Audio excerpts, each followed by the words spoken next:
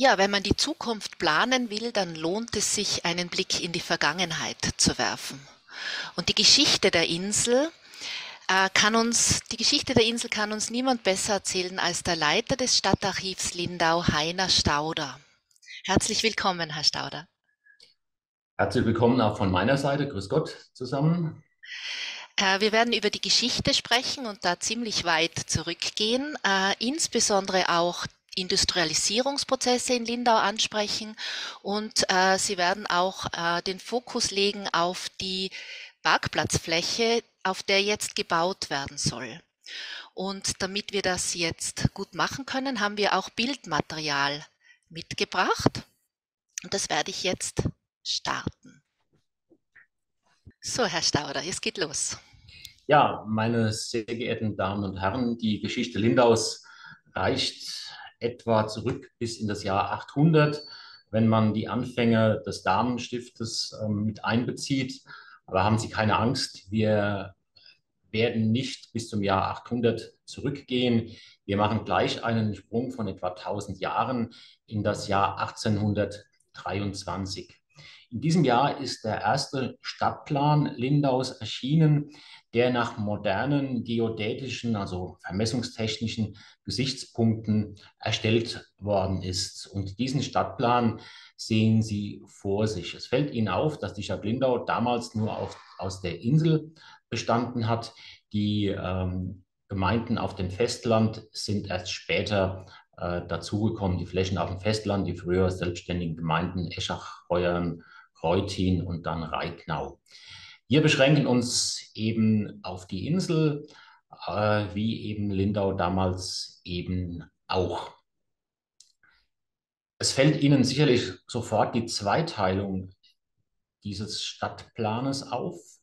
Sie haben links eine relativ freie Fläche und rechts ganz dicht bebaut die eigentliche Stadt, die heutige Altstadt.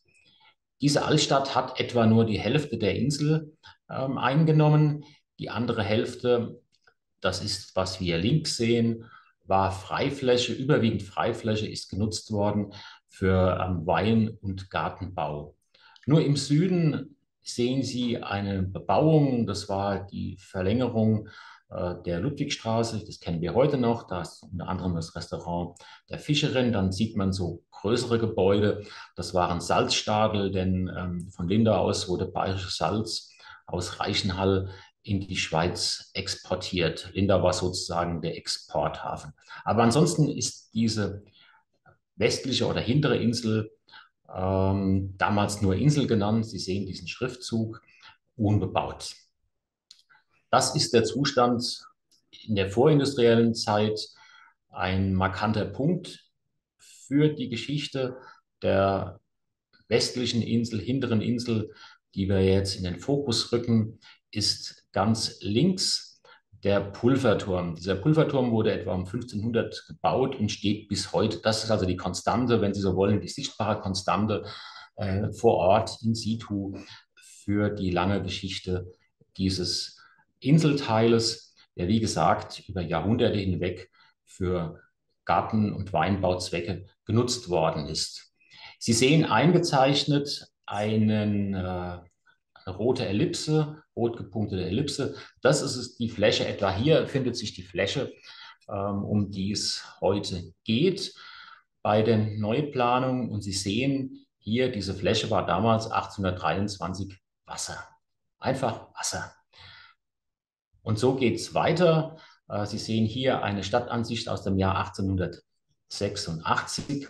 An unserer Fläche hat sich wenig verändert, also an dieser Fläche, um die es heute geht.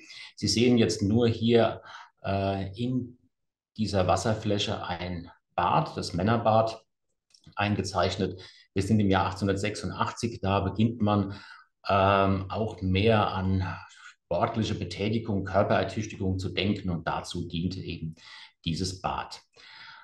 Was Ihnen weiterhin auffallen wird, ist die Eisenbahn, die sich auf der Insel hier breit gemacht hat. Die Eisenbahn erreichte die Insel 1854. Das war für Lindau eine ganz wichtige auch wirtschaftliche Sache. Die Eisenbahn damals betrieben mit Dampf. Und die Dampfkraft ist ja im Grunde genommen das Phänomen der Industrialisierung. Ohne Dampfkraft keine Industrialisierung. Und damit kommt mit der Eisenbahn ähm, auch die Industrialisierung hier nach Lindau, wobei ich dazu sagen muss, die ähm, Industrialisierung hat auch einen Vorläufer, nämlich die Dampfschifffahrt, die bereits ähm, 15 Jahre vorher in Lindau Fuß gefasst hatte. Also hier in dem Bereich Eisenbahn, ähm, Bahnhof und Hafen treffen sich damals äh, die beiden innovativsten, modernsten ähm, Verkehrsmittel, Dampfeisenbahn und Dampfschifffahrt. Hier ist die Schnittstelle der beiden. Und Sie sehen eben diesen großen Bahnhofsbereich mit einer Bahnhofshalle, mit Eingangsgebäuden, die ähm, heute nicht mehr stehen. Sie sehen Gleisanlagen mit einer kleinen Drehscheibe. Sie sehen Lokschuppen, Remisen, Instandsetzungsgebäude äh, und so weiter und so fort. Also die Eisenbahn überprägt die westliche Insel unter den Vorzeichen der Industrialisierung, ohne noch ähm, allerdings die Fläche jetzt ähm, einzubeziehen, um die es heute geht. Diese sehen Sie wieder, wie schon eingangs gesagt, in der roten Ellipse. Auch auf dieser Ansicht, das ist eine Luftansicht ähm, aus dem Jahr 1810, äh, pardon, 1910 von einem Zeppelin aufgenommen, sehen Sie noch ähnlich diese Situation wieder zu erkennen an der roten Ellipse, die Fläche, um die es heute geht. Ähm, wenn Sie jetzt genau hinschauen, sehen Sie, dass auf der äh, hinteren westlichen Insel sich baulich noch etwas getan hat. Das sehen wir noch besser, wenn wir jetzt zum nächsten ähm, Foto gehen.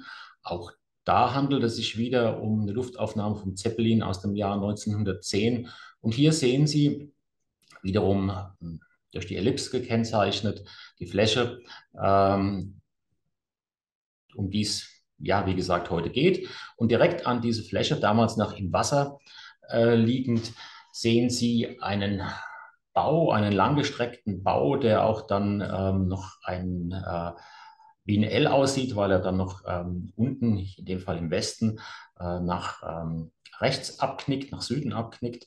Das ist die Luitpold-Kaserne, die 1903 fertiggestellt worden ist. Sie ist in den Jahren davor ähm, errichtet worden. Die Stadt Lindau legt äh, Wert auf diese Kaserne. Sie hat sich darum beworben. Ähm, man hat sich da durch eine Wirtschaftsförderung erhofft, die auch zum Teil wohl eingetreten ist. Hm, was der Stadt Lindau damals sehr am Herzen lag, war die bauliche Gestalt äh, dieser Kaserne. Das Bayerische Kriegsministerium hätte einfach da 0815 Bauten äh, hingestellt, hingestellt, die in ganz Bayern verbreitet waren, ähm, bestimmter Kasernentyp. Äh, die Bauten sehen alle gleich aus und das war auch hier vorgesehen. Nur hat die Stadt Lindau ähm, dann sich engagiert und hat gesagt, nein, ähm, diese Gebäudetypen passen nicht zum Bild unserer Altstadt. Wir wollen eine Kaserne, die in ihrer äußeren baulichen Gestalt ähm, mit dem Bild der baulichen Gestalt der Altstadt irgendwie in Einklang zu bringen ist, mit ihr harmonisiert. Und deshalb sehen Sie diese Kaserne ähm, unterteilt in verschiedene kleinere Baukörper, eine sehr ähm, lebendige Dachlandschaft. Das alles als Reminiszenz an die ähm, hintere, an die Altstadt, deren bauliche Gestaltung. Ähm, darauf hat man eben Wert gelegt, damals schon in Zeiten des beginnenden Tourismus. Das ist nochmal eine Luftaufnahme des Lindauer äh, Luftbildfotografen äh, Franz Torbecke. Diese Aufnahmen finden Sie in einem schönen Buch ähm, Lindau vor der Kamera, die Insel vor der Kamera. 2002 erschienen, wenn Sie das mal erwerben können, ist ein kleiner Schatz. Sie sehen hier nochmal diese Situation, die Kaserne, äh, und Sie sehen unsere Fläche, wiederum äh, gekennzeichnet durch die rote Ellipse, wiederum 1953 immer noch im Wasser. Das ist nochmal aus der gleichen Zeit, können Sie das nochmal aus einer anderen Perspektive sehen, jetzt von ähm, Norden her, von Nordosten her. Gehen wir zum nächsten Bild. Und jetzt sehen Sie eine massive Veränderung. Sie sehen links die Kaserne und Sie sehen dann aber in den See hinein, wo die ganze Zeit sich unsere rote Ellipse über ähm, eine blanke Wasserfläche erstreckt hat, sehen Sie jetzt hier, da wird ein Deich, ein Damm gebaut. Sie sehen in der Mitte oben zwei Bagger stehen, die da kräftig bei der Arbeit sind. Hier passiert etwas. Und was passiert hier? Das ist eine Aufnahme aus dem März 1968. Wenn wir zum nächsten Bild seh gehen, sehen wir, was da passiert. Wir sehen hier diese Fläche, die jetzt schon nicht mehr ähm, wie eine Wasserfläche aussieht. Da ist festeres Material eingebracht worden. Und woher stammt dieses festere Material? Das können Sie, können Sie unten sehen. Da sehen wir den kleinen See. Der kleine See, dieser Bereich zwischen Eisenbahndamm und Straßenbrücke, äh, der seit ähm, dem Bau des Eisenbahndamms 1854 immer wieder ähm, bedroht war zu verlanden und der musste deshalb immer wieder mal entschlammt werden. Diese letzte Aktion ähm, dazu war 1968. Sie sehen hier einen Schwimmbagger und von diesem Schwimmbagger abgehend geht eine Leitung. Das ist so eine Art, sieht aus wie von oben wie eine Kette, eine Rohrleitung. Die geht ähm, auf der anderen Seite des Eisenbahndamms direkt in dessen Nachbarschaft zur ähm, westlichen Insel in diesen Bereich, der abgedeicht worden ist. Und dieser Bereich, der abgedeichte Bereich, wird nun mit diesem Schlamm aus dem kleinen See aufgefüllt. Und damit entsteht diese Fläche. Kurzer Hinweis noch, die Fläche der Insel Lindau hat sich eigentlich über die Jahrhunderte immer wieder verändert. Sprich, sie ist größer geworden, vor allen Dingen dann ähm, mit dem Beginn der Industrialisierung.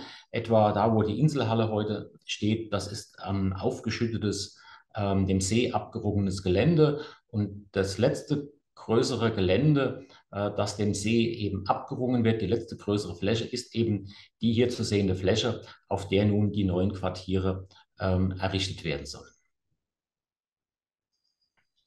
Sie sehen hier äh, eine Aufnahme, eine Luftaufnahme aus dem Jahr 1975. Sie sehen, äh, wozu diese neu aufgeschütteten Flächen äh, genutzt worden sind, nämlich zu Parkplätzen.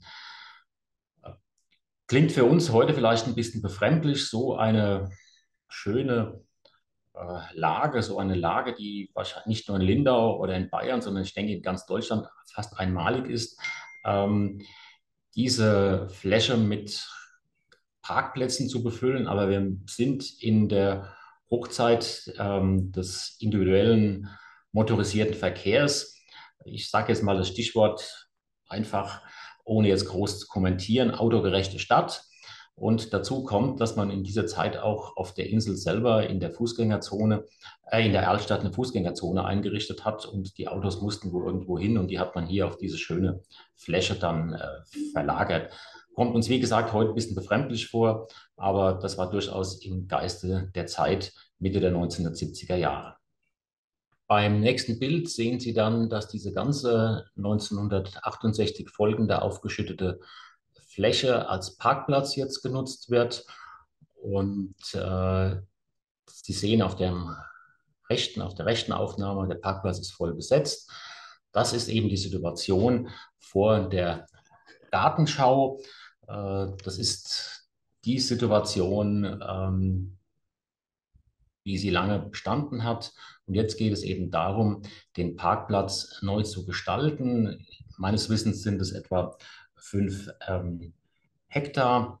Und davon äh, sollen jetzt, äh, daraus werden vier Baufelder von insgesamt 1,5 Hektar genommen, die bebaut werden sollen. Und die Bebauung ist kleinkammerig vorgesehen, also sollen keine Blöcke ähm, entstehen, sondern es soll auch hier, ähnlich wie bei der Kaserne, auf die ähm, Architektur der Altstadt in Sachen Kubatur und Dachlandschaft Rücksicht genommen werden. So etwa ähm, wird vorgesehen, diese Fläche zu gestalten. Ja, herzlichen Dank für diese, für diese Einblicke in die Geschichte. Ähm, dem, vielen Dank an äh, Stadtarchivar Heiner Stauder. Ich danke Ihnen für Ihre Aufmerksamkeit.